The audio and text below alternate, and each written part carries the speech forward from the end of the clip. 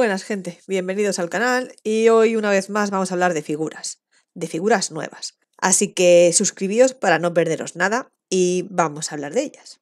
Como veis, la de la derecha es un Hot Toys, pero se ha presentado esta mañana y, y ha venido al pelo para meterlo en el vídeo, porque normalmente nunca meto Hot Toys. Y vamos a empezar con este Mostrenko.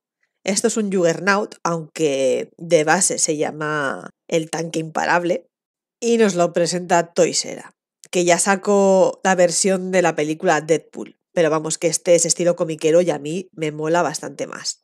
Como decía al principio, esta figura también se ha presentado esta mañana junto con el Tusken de Hot Toys.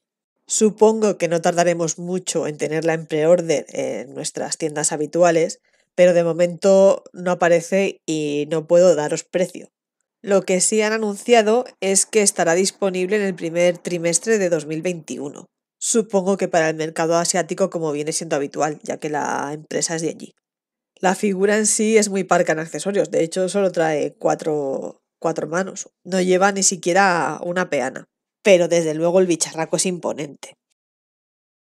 Y pasamos a este que es feo, este muy feo. Y Hot Toys ha presentado este Morador de las Arenas, o Tusken, ampliando su colección de Star Wars, que es bastante extensa. Y para todos los que coleccionen Star Wars, supongo que es una buena noticia poder incluir este personaje en sus dioramas o colecciones. Y como ya veis en las fotos, pertenece a la línea de Mandalorian. Fantástica serie que está ahondando en el universo Star Wars. Y esta figura sí que nos trae un montón de accesorios y podemos ver cuatro pares de manos, la base que hace como si fuera arena, nos muestran tres rifles que en un principio pensaba que podría ser un rifle, un cuerpo de rifle que se le cambiase la, la punta, digamos, pero estoy viendo que las culatas son diferentes y podría ser que traiga tres.